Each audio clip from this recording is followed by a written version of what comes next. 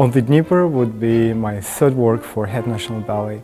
And um, after Russian Seasons and Don Quixote, I feel that I know the company now well enough and I'm really looking forward to this work. It's really wonderful score, full of melancholy, full of drama, but hidden.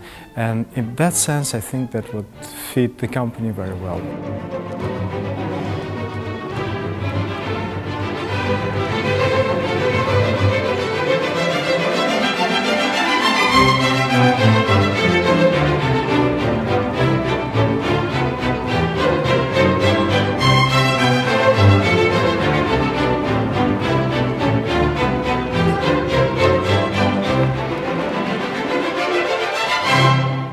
Christophe Paster creëerde Dumbarton Dances voor acht mannelijke dansers.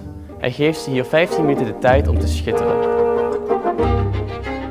Het is een relatief kort stuk, maar heel erg dynamisch, licht, speels.